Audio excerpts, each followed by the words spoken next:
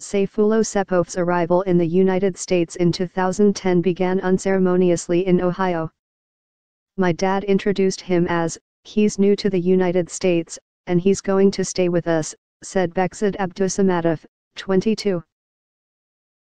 Mr. Saipov, the suspect in the terrorist attack in lower Manhattan that killed eight people on Tuesday, arrived from Tashkent, the Uzbek capital and its largest city knowing little English, Mr. Abdusamatov said. He spent those early days in the United States looking for a job and trying to improve his English, Mr. Abdusamatov said but he was also a late sleeper. At one point, Mr. Saipov made his way to Fort Myers, Florida, where he met a fellow Uzbek immigrant, Kabiljan Matkarov, 37. Mr. Saipov was working as a truck driver at the time. He was a very good person when I knew him, he said. He liked the US he seemed very lucky, and all the time he was happy and talking like everything is okay. He did not seem like a terrorist, but I did not know him from the inside. As investigators began on Tuesday to look into Mr.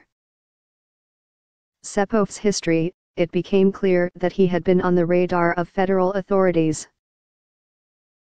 Three officials said he had come to their attention as a result of an unrelated investigation, but it was not clear whether that was because he was a friend, an associate or a family member of someone under scrutiny or because he had been the focus of an investigation. Over the last two years, a terrorism investigation by the FBI, the Department of Homeland Security, the New York Police Department and federal prosecutors in Brooklyn resulted in charges against five men from Uzbekistan and one from Kazakhstan of providing material support to ISIS. Several of the men have pleaded guilty it is unclear whether Mr. Saipov was connected with that investigation. After a move to New Jersey, Mr.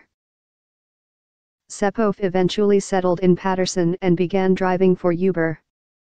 On Tuesday night, law enforcement officials converged on an apartment building near Genesee and Getty Avenues that was believed to be Mr. Saipov's home. Mr. Saipov had earned a green card, according to a law enforcement official who spoke under the condition of anonymity because the investigation was proceeding, and had entered the country through Kennedy International Airport. An Uber official said Mr. Saipov had passed the company's background check.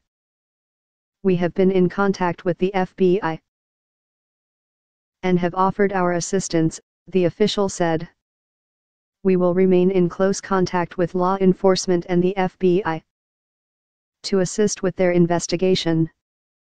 We are aggressively and quickly reviewing this partner's history with Uber, and at this time we have not identified any related concerning safety reports.